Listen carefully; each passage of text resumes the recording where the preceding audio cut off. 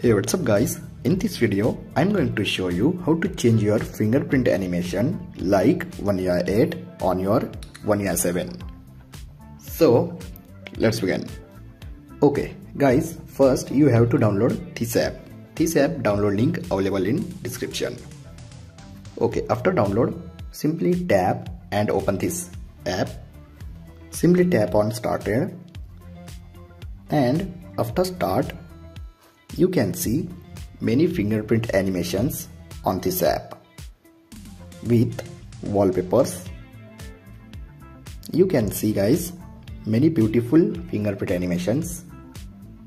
Now I will show you how to set these animations. Simply tap and select any animation and simply select wallpaper like this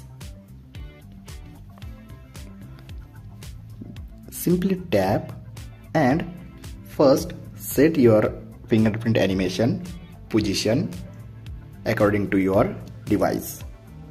Now guys you can see I will set fingerprint animation size animation speed and animation position.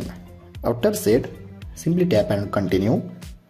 And simply set as wallpaper and set home screen and lock screen. After set you can see fingerprint animation on your device.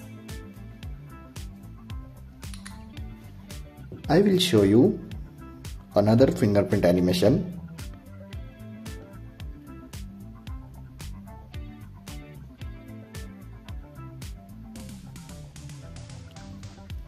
Now you can see beautiful fingerprint animation apply on my Galaxy device.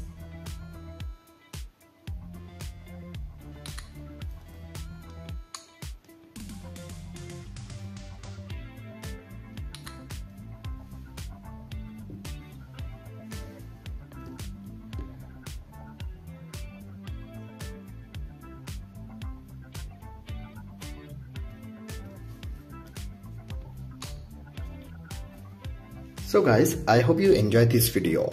If you have enjoyed this video, then like, share and don't forget to subscribe. Thanks for watching guys. See you in next video. Bye bye.